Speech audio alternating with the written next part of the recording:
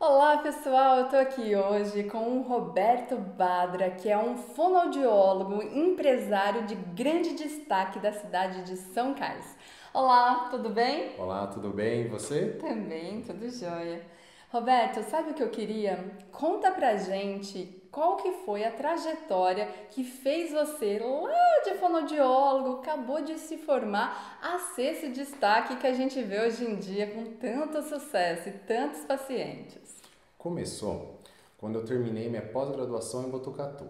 Hum. Meu pai virou para mim e falou: Beto, eu tenho algo dentro de mim que vai dar certo se você for trabalhar na parte clínica.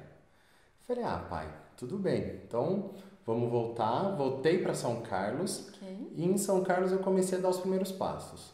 Mas como eu estava sem nenhum tipo de equipamento, sem nenhum tipo de material físico para trabalhar, hum. eu só tinha uma mesa. Eu tinha uma sala e uma mesa apenas. E a mesa era emprestada, não era nem minha. Nossa. Aí como é que foi? Eu precisava de pacientes. Então eu comecei a bater em clínicas de otorrinos, de pediatra, clínica de saúde ocupacional perguntando se eles precisavam de algum profissional para trabalhar com eles. Aí eu tive muito não, tive alguns sim, alguns não ligaram, mas o que deu uma guinada foi numa empresa que eles precisavam de um profissional para fazer exames. Eu cheguei lá, dei meu currículo, falei com eles, eles comentaram, ó, profissional para terapia nós já temos, hum. então não vamos precisar, mas nós estamos precisando de alguém para fazer exames de audição. Aí ela perguntou: Você tem os equipamentos? Aí eu falei: Tenho, tenho, tenho sim, tenho todos para fazer a parte de exame de audição. Isso que você só tinha uma mesa e uma cadeira, né? Só, e a mesa é emprestada. Detalhe. Aí eu conversei com ela e perguntei: Qual é a demanda, né, para ver se vale a pena eu prestar, fazer essa parceria com vocês? Aí ela falou: Ó. Oh, temos em média pouco, seis pacientes para te indicar por mês. Eu falei, ah, interessante. E quanto isso vai te gerar? Quanto isso vai me gerar de ganho? Falei, ah, a gente vai pagar em média com os descontos, tudo do imposto, você vai receber 250 reais. Eu falei, ah, interessante. Posso dar a resposta amanhã? Ela falou, claro, pode sim. Nossa, Aí eu fui correndo pela internet com os amigos, pesquisando quanto que custava os equipamentos para eu fazer o exame de audição. Uhum. Aí o que, que eu verifiquei? Que eu poderia comprar esses equipamentos, fazer um financiamento em três anos e a mensalidade desse financiamento seriam 250 reais. Uh, justamente! É o que eu precisava. Aí eu liguei para ela e falei, ó, me interessa, mas eu estou mudando de sala. Você pode esperar 20 dias? Falou, claro, a gente já faz a parceria e em 20 dias a gente começa a trabalhar. Eu falei, ótimo. Érica, esses 20 dias eram para chegar os equipamentos. Nossa, que sufoco. Aí nisso, quando eu fechei a parceria, ela virou e falou: Ó, oh, inclusive eu vou te indicar para outro parceiro que é aqui nosso vizinho para você também fazer os exames. Fui lá, conversei, fechei uma nova parceria com eles e eu paguei o equipamento em seis meses. Uau, que maravilhoso! E assim, se a gente não se dispor é, da mobilização dessa, dessa vontade proativa de fazer a coisa acontecer, não vai, não é mesmo? Porque o quanto que é difícil do zero a gente chegar num patamar de sucesso, num reconhecimento, né? E essa história mostra muito pra gente o quanto que essa garra, essa força de fazer acontecer, de fato é muito importante na nossa vida. Perfeito. Eu vou falar um clichê. Ficando parado, a gente não faz nada. Se não tirar a bunda da cadeira, a gente não consegue chegar em lugar nenhum. Um não, nós já temos. É então, tudo isso que eu falei são clichês, mas a diferença é quando a gente põe isso na prática, a gente sair da nossa zona de conforto. E esse convênio que eu acabei abrindo de exames uhum. foi lá em 2011. E hoje, em 2019, eu ainda sou o principal fonoaudiólogo audiologista deles. Então, além de você ter esse um pouquinho de marketing, de jeito de tirar a bunda da cadeira, okay. Você também tem que ser um bom profissional. Com certeza. E essa sua história é tão maravilhosa que dá até orgulho, assim, né? dá orgulho. Dá orgulho, gente, de ver o quanto que a fonoaudiologia tem potencial para crescer, né?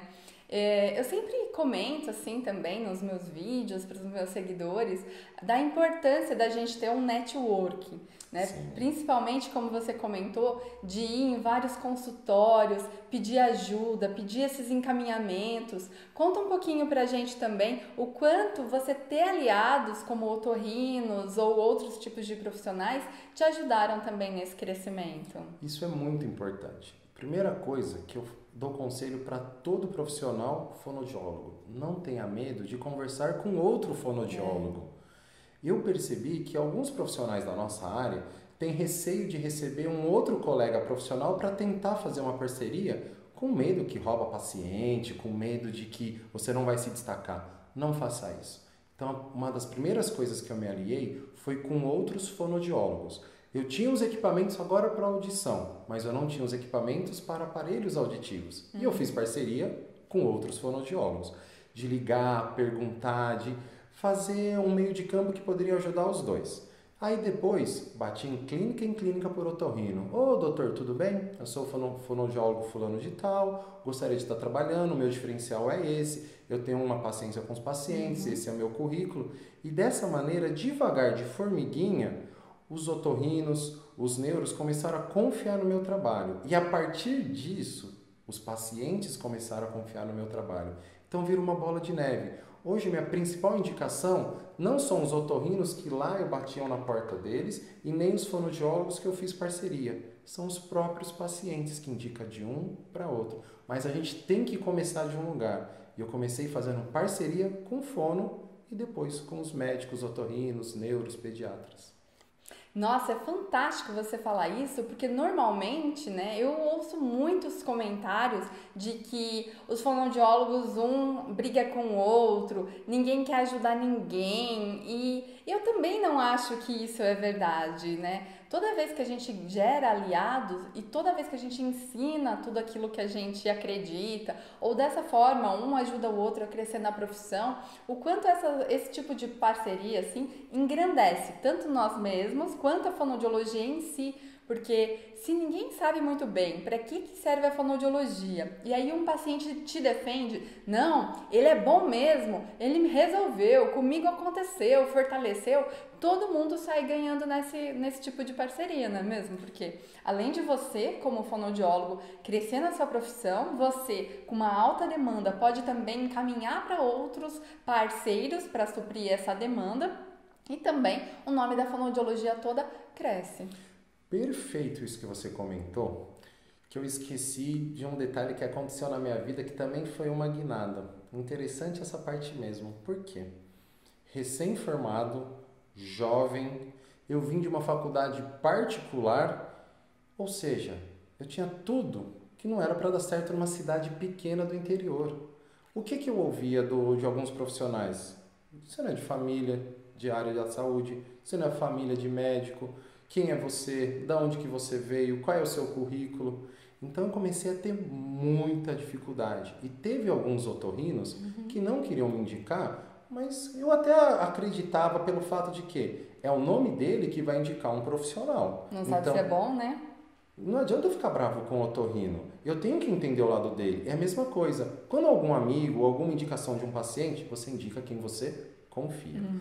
Então, pegando o gancho de que você comentou, tinha um médico que não trabalhava comigo de maneira alguma. Aí um paciente virou e falou: Ó, oh, doutor, eu fiquei sabendo que o fulano de lá fez um bom trabalho. Eu acho que eu vou fazer um orçamento, eu acho que eu vou fazer uma terapia com ele. Tudo bem?